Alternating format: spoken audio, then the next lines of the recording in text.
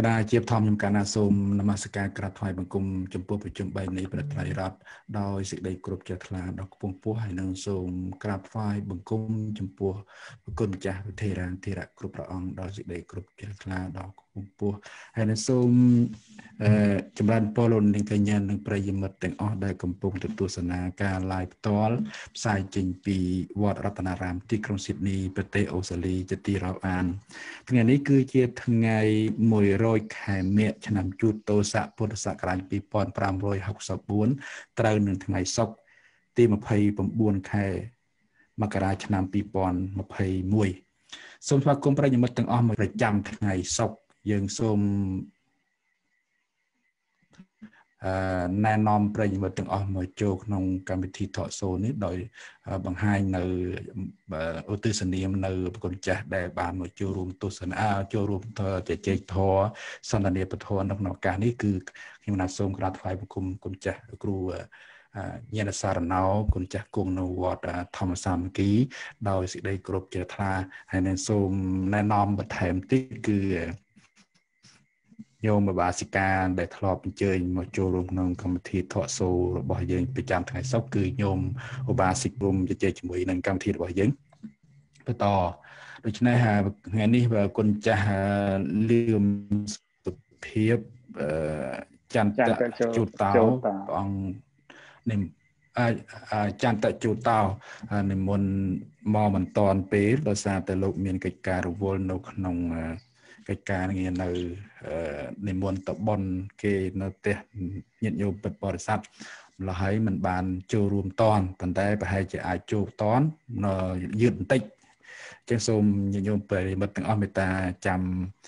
ទស្សនាបន្តឥឡូវសូមមកចូលក្នុងមេតិកាបធបធសន្តានាក្នុងក្នុងឱកាសនេះ គឺយើងជជែកអំពីអរិយទ្រព្យនៅក្នុងសប្តាហ៍ទី3 នៃការសន្តានាពធប្រចាំសប្ប្រចាំថ្ងៃសុក្រយើងបានជជែកគ្នាមកដល់ពេលនេះក៏ដល់មេតិកាទីទីទី3ហើយប៉ុន្តែទន្ទឹមនឹងចូលដល់ក្នុងមេតិកាទី3គឺហេរិសេចក្តីខ្មាស់បាបយើងសូមរដ្ឋនាគុណចាស់រដ្ឋនាលោក គ្រូជាម្ចាស់ដើម្បីជួយបញ្យល់បន្ថែមអឺផ្ដើមសេចក្តីដោយនិយាយសម្ដែងរៀបរាប់អំពីខាងដើមសិនគឺញាតិញោមខ្លះក៏បានជើញចូលរួមក្រោយអញ្ចឹងទៅមិនបានយល់អំពីពាក្យថារយទ្របហើយនិងមេតិកាទី1និងមេតិកាទី2ដូច្នេះសូមញាតិញោមប្រិយមិត្តទាំងអស់មេត្តាត្រង់ត្រាប់ស្ដាប់នៅធេរតិកាបឋមទេសនាក្នុងឱកាសនេះសូមគុណចាស់គ្រូមេត្តាជួយពន្យល់ពីខាងដើមអំពីអរិយទ្រប បន្តមករហូតដល់មានការមេតិកាទី3គឺហេរិសេចក្តីខ្មាស់បាបអញ្ចឹងសូមខ្ញុំអនុសូមបកលទុនទីហើយនឹងវេទិកាគិនដល់លោកគ្រូជាម្ចាស់ដើម្បីជួយបញ្យល់ដោយតទៅសូមអរតនានិមន្តបាទសូមអរគុណខ្ញុំកណាសូមនមស្ការចំពោះគុណនៃព្រះរតនត្រ័យដោយសេចក្តីគោរពដល់សេចក្តីជ្រះថ្លានិងសូមបាត់ថ្វាយបង្គំចំពោះ ប្រធេរានុប្រធេរៈគ្រប់ព្រះអង្គដោយសេចក្តីគោរពដោយសេចក្តីកោតក្រែងពិសេសគឺសូមនមស្ការចំពោះត្រង់ចាស់សវណ្ណបញ្ញោក៏សួននៅជាគ្រូចាតិកាវរតនារាមដោយសេចក្តីគោរពកោតក្រែងនមស្ការចំពោះកណ្ដាលចាស់ចន្ទៈចូលតោដោយតាមបានចូលរួមតាមក្រោយទៅតាមទឹកប្រតិហើយនឹងវិញទៅសូម ចម្រើនពរដល់ញាតិញោមពុទ្ធបរិស័ទណាទូទៅដែលមានប្រក្តីក្នុងការចូលស្ដាប់តាមដាននៅពធជាប្រចាំផ្សាយចេញពីវត្តនារាមហើយនឹងមួយលើសូមចម្រើនពរខ្ញុំស្រីណប់សវណ្ណដែលក៏បានចូលរួមក្នុងការសន្ទនាពធសម្ដែងពធពីពីក្រុងភ្នំពេញ ក្នុងថ្ងៃនេះបាត់បាត់ខ្ញុំប្រភពខ្ញុំកណាមកភាពបានឱកាសចូលរួមជាលើកទី2ជាសប្តាហ៍ទី2តាក់ទងទៅក្នុងមេតិកាធោគឺអរិយត្រប់ដែលថាត្រប់ដ៏ប្រសើរដែលព្រះសម្មាសម្ពុទ្ធព្រះអង្គទ្រង់បានទ្រង់ត្រាស់សម្ដែង ហើយញាតិញោមពុទ្ធបរិស័ទក៏ធ្លាប់ជ្រាបដូចជាតកតងជាមួយនឹងរិហុលកុមារដែលព្រះនាងព្រមពីយសោធិរីបានប្រើឬក៏ប្រាប់ដល់រាជបុត្រហ្នឹងឲ្យទៅសុំនៅកំណត់ប្រាប់ពីបៃតាគឺព្រះសម្មាសម្ពុទ្ធហើយព្រះអង្គក៏ទ្រង់ពិចារណា ប្រាប់នៅក្នុងលោកនេះឬក៏រតនៈនៅក្នុងលោកនេះគឺព្រះអង្គទ្រង់ប្រទានឲ្យដល់រាហុលនឹងច្រើនហើយប៉ុន្តែនៅតែអរិយទ្រព្យនេះទេដែលព្រះអង្គមិនធ្លាប់បានប្រទានដល់ព្រះរាហុលអញ្ចឹងក៏ព្រះអង្គទ្រង់ប្រទាននៅអរិយទ្រព្យជាទ្រព្យដ៏ប្រសើរអញ្ចឹងក្នុងអរិយទ្រព្យទាំង 7ប្រការទី1គឺមានសទ្ធាធនំទ្រព្យណាគឺសទ្ធាជាញោមឬក៏កណ្ដាលចាស់ក៏យើងធ្លាប់បានចាំធ្លាប់បានចេះហើយគឺក្នុងសទ្ធាមានរហូតដល់ទៅ4ប្រការមានកម្មសទ្ធាវិបាកសទ្ធាកម្មសកតាសទ្ធានិងតថាគត ពោធិសទ្ធាគឺសទ្ធានឹងដែលព្រះអង្គសម្ដែងថាជាប្រាប់ព្រោះអាស្រ័យមានការជឿទៅលើកម្មហើយនឹងផលរបស់កម្មហើយជារស័ព្ទលោកទាំងឡាយមានកម្មជារបស់ខ្លួនហើយនឹងជឿទៅលើការត្រាស់ដឹងរបស់ព្រះសម្មាសម្ពុទ្ធវិញមេតិកាទី1ហៅថាសទ្ធាធនំហ្នឹងក៏បានសន្ទនា ជាលំដាប់មកហើយហើយទី2ហៅថាសីលធនំគឺត្រាប់គឺសិលញ៉ៃសិលដែលបានសម្ដែងសន្ទនាពីសព្ទាមុនដែលតកតងទៅក្នុងរឿងជាពិសេសគឺសិល5ដែលជាគុណជាតិដ៏បរិសុទ្ធពរផងណាជាគុណធម៌ដែលអឺ ដែលឲ្យកំណើតជាមនុស្សបានប្រោះអាស្រ័យសិលនឹងហើយដោយចិត្តជុំពុទ្ធបរិស័ទសមាទានសិលនិច្ចសិលជាដើមហ្នឹងគឺជាសម្បត្តិពីព្រោះអ្វីអ្វីដែលយើងមាន ជាប្រចាំក្នុងថ្ងៃក្នុងប្រក្តីក្នុងជីវិតរបស់យើងបើយើងតាក់ទងនឹងផលឬក៏អានិសង្ឃរបស់សិលគឺថាណាទាំងអវយវៈខ្លួនយើងទាំងជីវិតយើងដែលតាំងនៅបានក៏ប្រោះអាស្រ័យ កម្លាំងរបស់សិលគុណធម៌ថ្នាក់សិលដែលយើងបានសាងសន្សំមកគឺយើងបានសម្បត្តិគឺជីវិតជាពិសេសគឺកំណើតជាមនុស្សនឹងតែម្ដងហ្នឹងគឺជាអរិយត្រ័ព្យទី2គេថាសីលធនំហើយបើក្នុងប្រក្តីនៃជីវិតសពសត្វទូទៅឬក៏មនុស្ស ទូទៅហ្នឹងបើបរិបូរទៅដោយសិលគឺរស់នៅមានសេចក្តីសុខដែរហើយទាំងសត្វដតីឬក៏អ្នកដែលរស់នៅជុំវិញយើងនឹងក៏បរិបូរទៅដោយសេចក្តីសុខកម្លាំងគុណធម៌តែมันមានការបៀតបៀនទេហើយជាធម៌កំចាត់បងនៅពីវរាគឺគុណធម៌ថ្នាក់សិលជាគុណជាតិដែលកំចាត់បង នៅពីវរាកំចាត់បងនៃការបៀតបៀនរហូតដល់កំចាត់បងនៃការចងគំនុំគុំគួនគំនិតបំណងដើម្បីឲ្យអ្នកដតីដល់នៅសេចក្តីវិន័យប្រអាស្រ័យកម្លាំងសិលឬគុណធម៌ស្នាក់សិលអាចកំចាត់ធម៌ទាំងអស់នឹងបាននឹងក៏រៀបរាប់ត្រួសត្រាសមករេក្របទាំង7ហ្នឹងហើយដល់ពេលទី3គឺហេរិធនាំងត្រាប់គឺហេរិគឺសេចក្តីខ្មាស់បាបហើយទី4អោតនៈ អោតបៈចំណាញ់ត្រាប់គឺអោតបៈគឺសេចក្តីខ្លាចធ្វើបាបណាហើយនឹងទី5គឺសត្តៈចំណាញ់ទី6ជាចាកៈចំណាញ់ហើយនឹងទី7បញ្ញាចំណាញ់ណាគឺទ្របគឺបញ្ញាអញ្ចឹងក្នុងសប្តាហ៍នេះគឺការសន្ទនាឬក៏លើកឡើងចូលរួមក្នុងការជជែកសម្ដែងតកតងនឹង ហិរិធៈណាំងហិរិគឺត្រាប់ដ៏ប្រសើរគឺការខ្មាស់ណែខ្មាស់បាបខ្មាស់បាបហើយគុណធម៌ថ្នាក់ណាហិរិនេះគឺ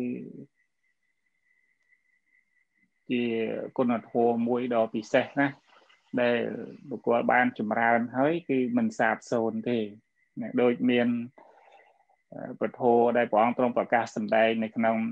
គម្ពីរអង្គតរនិកាយដាក់លេខមកយ៉ាងលេខ47ដែលព្រះអង្គមានពុទ្ធដីកាត្រាស់ទៅជាមួយនឹងភិក្ខុទាំងឡាយដោយសារមានទេវតានៅក្នុងពេលរាត្រីហ្នឹងគឺបានមកកល់ព្រះអង្គ នៅមាវត្តចិត្តពន្ធនឹងហើយបានសម្ដែងបានពោលទៅកាន់ព្រះសម្មាសម្ពុទ្ធដែលបុគ្គលមានធัว7ប្រការហ្នឹងมันដល់នៅសេចក្តីសាបសូន្យទៅទេគឺទី1គឺសំដៅទៅលើសេចក្តីគោរពចំពោះព្រះពុទ្ធទី2គឺគោរព ព្រះធម៌ទី3គោរពព្រះសង្ឃហើយទី4គោរពនៅក្នុងសិក្ខាហើយនឹងទី5គឺគោរពនៅក្នុងសមាធិហើយនឹងទី6គឺហិរិហើយនឹងទី7គឺអតបៈហ្នឹងគឺបុគ្គលហ្នឹងមិនសាបសូន្យឈ្មោះថាជាបុគ្គលនៅចិត្តនៅព្រះនិព្វានក្បែរនឹងព្រះនិព្វាន ហ្នឹងជាចំណែកមួយដែលតកតងជាមួយនឹងហិរិដែរហើយហិរិហ្នឹងគឺជាហេតុជាទីតាំងឬក៏ម្យ៉ាងទៅជាបតតឋានណារបស់សិលផងដែលបុគ្គលអាចមានគុណធម៌ថ្នាក់សិលបានតើតែមានហិរិគឺការខ្មាស់បាបធ្វើបាបហ្នឹងបើមិនមានហិរិទេបើនេះថាសិលហ្នឹងការឡើងអត់បានទេ ពីព្រោះសិលដោយព្រះអង្គទ្រង់ប្រកាសសម្ដែងគុណធម៌ទាំងអស់ឬក៏ធម្មជាតិឬក៏សភាវធម៌របស់កាលឡើងព្រោះមានបច្ច័យមានហេតុអញ្ចឹងបើអត់មានហេតុគ្រប់គ្រាន់ទេគុណធម៌ហ្នឹងឬក៏ថាសភាវធម៌ហ្នឹងការឡើងអត់បានទេអញ្ចឹងបានតាកតងទៅក្នុងរឿងហិរិហ្នឹងហើយហិរិដែលអាចកើតឡើងបានក៏មានហេតុដែរណាក៏មានហេតុ4ប្រការដែលជាហេតុជាទីតាំងដែលនាំឲ្យ កើតនៅហិរិក្នុងពាក្យយើងនិយាយខ្លះហៅថាអាចឆតិកៈសមុដ្ឋានមិនថាជាសមុដ្ឋានជាហេតុជាទីតាំងខាងក្នុងជាហេតុជាទីតាំងនៅខាងក្នុងហ្នឹងគឺទី1គឺពិចារណាដល់ជាតិតាំងបច្ចវេកខេតថ្វាបច្ចវេកខេតថ្វាគឺពិចារណាដល់ជាតិ ដល់ជាតិដែលយើងពិចារណាដល់បើយើងជាមនុស្សពិចារណាដល់ជាតិកំណើតដែលយើងបានអត្តភាពជាមនុស្សហ្នឹងពីព្រោះអាស្រ័យអីអាស្រ័យបនអញ្ចឹងទៅវាថាដូចចិត្តយោមពុទ្ធបរិស័ទកណ្ដាលចាស់ជ្រាបគ្រប់គ្នាហើយថាក្នុងកំណើតនៃសុគតិទាំង7បើយើងនិយាយត្រឹមតែកាមភូមិហ្នឹងមានមនុស្សនិង ទេវតា6ជាន់បានថាកំណើតទាំងអស់ហ្នឹងគឺសម្រេចមកពីបុណ្យបើមិនមានបុណ្យមិនមានកុសលទេมันអាចមានវិបាកធ្វើកិច្ចបរិសន្ធិនៅក្នុងសុគតិបានទេនឹងដល់យើងពិចារណាដល់ជាតិគឺកំណើតអត្តភាពរបស់យើងដែលបានមកអញ្ចឹងគឺជាហេតុជាទីតាំងឲ្យកើតនៅហិរិយើងអត់ទៅធ្វើបាបពីព្រោះឃើញ អវយវៈឬក៏ថាអត្តភាពយើងនេះព្រោះបានមកដោយសារបុណ្យមិនមែនបានមកដោយសារបាបទេអានឹងគឺជាហេតុជាសមុទ្ឋានទី1ដែលនាំឲ្យកើតហិរិគឺពិចារណាដល់ជាតិតែតែជាតិតាំងបច្ចវេខេត្វាហើយទី2គឺវិញ្ញាណបច្ចវេខេត្វាពិចារណាដល់វ័យដល់ភេទអីចឹងទៅដូចថា យើងវ័យប៉ុណ្ណឹងដែលយើងសម្លឹងមើលខ្លួនយើងសម្លឹងដែលមើលខ្លួនយើងនិយាយថាវ័យខ្លួនយើងអញ្ចឹងគួរទៅធ្វើបាបទេអាហ្នឹងឬក៏ថារបៀបដូចយើងថាជាឧបាសកបាសិកាឬក៏ជាអ្នកមានប្រកដីក្នុងការឲ្យទានអីចឹង ហើយវ័យយើងអាយុ70 80ឬក៏វ័យយើងប៉ុណ្ណាក៏ដោយគឺតាក់ទងនឹងការពិចារណាដល់វ័យរបស់យើងហ្នឹងអានឹងក៏ជាហេតុជាទីតាំងដែលនាំឲ្យកើតហិរិអានឹងគឺជាសមុទ្ឋានជាហេតុទី2ដែលបុគ្គលបានពិចារណាហើយនាំឲ្យកើតនៅហិរិនេះជាការពិចារណាបើយើងមានប្រក្តីក្នុងការពិចារណាអញ្ចឹងគឺយើងអាច ដើម្បីវាចាក់បាបខ្លាចបាបខ្មាស់បាបហើយទី3គឺសរៈភាវៈសរៈភាវៈហ្នឹងគឺពិចារណាដល់ភាពណាឃ្លាវខ្លាណាភាពលវិសឬក៏ថាឆ្លាតវៃរបស់យើងនឹងគ្លៀវខ្លារបស់យើងនឹងដូចថាយើងជាប្រមុខជាប្រធាន ជាគេអីជាដូចថានឹកឃើញដល់យើងជាម្ដាយអីជាដើមអានឹងយើងពិចារណាអញ្ចឹងយើងមិនគួរធ្វើបាបទេនឹងក៏ជាហេតុទី3ដែរហើយនឹងទី4គឺពហុសច្ចੰពហុពហុសច្ចੰហ្នឹងគឺភាពជាពហុសោតណាដូចថាយើងជាអ្នកចេះដឹងជាគ្រូបង្រៀនឬក៏ថា ជាអាណាព្យាបាលឬក៏ថាជាអ្នកដឹកនាំជាប្រធាន ជាពិសេសដូចជាអ្នកចេះដឹងចេះសម្ដែងពធអីចឹងកាលណាដែលយើងពិចារណាដល់ភាពចេះដឹងរបស់យើងហ្នឹងយើងមានចំណេះរហូតដល់អាចបង្ហាត់បង្រៀនបង្ហាញដល់អ្នកដទៃយើងមិនគួរទៅធ្វើនៅពើបាបទេនឹងដែលជាហេតុជាទីតាំងនាំឲ្យកើតហិរិយ គឺបាននេះថាមិនមែនតើតែយើងពិចារណាគ្រប់ទាំង4អញ្ចឹងទេបានថាយើងពិចារណាក្នុងមួយណាក៏បានដែរណាពិចារណាមួយណាមកឬថាយើងពិចារណាពីជាតិក៏ឲ្យកើតហិរិបានពិចារណាពីវ័យរបស់យើងហ្នឹងក៏ជាបតដ្ឋានជាទីតាំងនាំឲ្យកើតហិរិអញ្ចឹងបានយើងស្ដាប់មកយត់ញោមកាលណាតែយើងស្ដាប់មកឃើញធัวទាំងឡាយមាន មានបច្ច័យដល់គ្នានឹងគ្នា ដូចថាធัวនេះអាចកើតបានព្រោះមានធัวនេះជាហេតុជាទីតាំងជាបច្ច័យហើយបើអត់មានធัวនឹងទេបានថាធัวនឹងកើតឡើងមិនបានទេគឺមានតាមបច្ច័យរបស់ធัวអញ្ចឹងនៅក្នុងជាចំណែកនឹងខ្ញុំកណាស្មារតីគ្រាន់តែលើកឡើងសេចក្តីខាងដើមប៉ុណ្ណឹងថាទៅតាក់ទងទៅនឹងអរិយទ្រព្យ ទាំង7ប្រការយើងចូលដល់មេតិកាទី3ហៅថាហិរិធៈណាំងអញ្ចឹងចិត្តយមអាចឬក៏ការាចាស់អាចអត្ថាធិប្បាយពង្រីកសេចក្តីតាកតងទៅក្នុងរឿងពិចារណាវ័យយ៉ាងណានឹងតាមទឹកបតីអានេះខ្ញុំកណាគាត់ផ្ដើមសេចក្តីនៃពធប៉ុណ្ណឹងហើយប្រកេនទៅការាចាស់កម្មចាត់ចែងកម្មវិធីអញ្ចឹងសូមប្រកេនសូមអនុមោទនី ក្តារអរគុណចាស់គ្រូយ៉ាងក្រៃលែងចំពោះការអត្ថាធិប្បាយជាខាងដើម ដើម្បីជាការនាំយកនៅមេតិកាបន្ថែមទៀតដើម្បីយើងពិភាក្សាក្នុងរឿងមេតិកាទី3ហ្នឹងគឺហេរិការខ្មាស់បាបហ្នឹងគុណចាស់បាននាំចូលទៅដល់មេតិការហូតដល់ថែម4ពីលើទៀតដើម្បីជាកិច្ចជាបតៈឋានក្នុងការពិចារណា កាលណាដែលយើងមាននៅហេរិហ្នឹងគឺសេចក្តីខ្មាស់បាបហើយយើងនឹងចូលទៅក្នុងការពិចារណាទៅក្នុង4ចំណុចទី1គឺជាតិគឺការពិចារណានៅជាតិរបស់យើងដែលបានកើតមកជាមនុស្សអញ្ចឹងទៅហើយពិចារណានៅវ័យវ័យដែលយើងមានវ័យគឺវ័យអីវ័យវ័យបឋមវ័យវ័យរហូតដល់វ័យចាស់អីជាដើមហ្នឹងមានវ័យកដាលវ័យចាស់ទាំងអស់មានវ័យមាន3វ័យអ ញ្ចឹងយើងពិចារណាទៅថាតើយើងនៅក្នុងវ័យមួយណាអញ្ចឹងទៅគួរតែពិចារណាយ៉ាងម៉េចដើម្បីកុំអោយវាចូលទៅក្នុងធ្លាក់ទៅក្នុងអន្លង់នៃសេចក្តីប្រព្រឹត្តអំពើបាបផ្សេងផ្សេងហើយដល់ទី3គឺភាពភាពវ័យខ្លាចវាឃ្លាវខ្លា គឺភាពនៃចេះដឹងពេលហួអឺភាពឃ្លាវខ្លា គឺថាយើងជាមនុស្សដែលមានភាពឃ្លាវខ្លាមានសេចក្តីខ្លា ហានអញ្ចឹងទៅមិនគួរធ្វើអំពើបាបផ្សេងៗហើយដល់2 4គឺពហុសច្ចៈភាពជាអ្នកមាន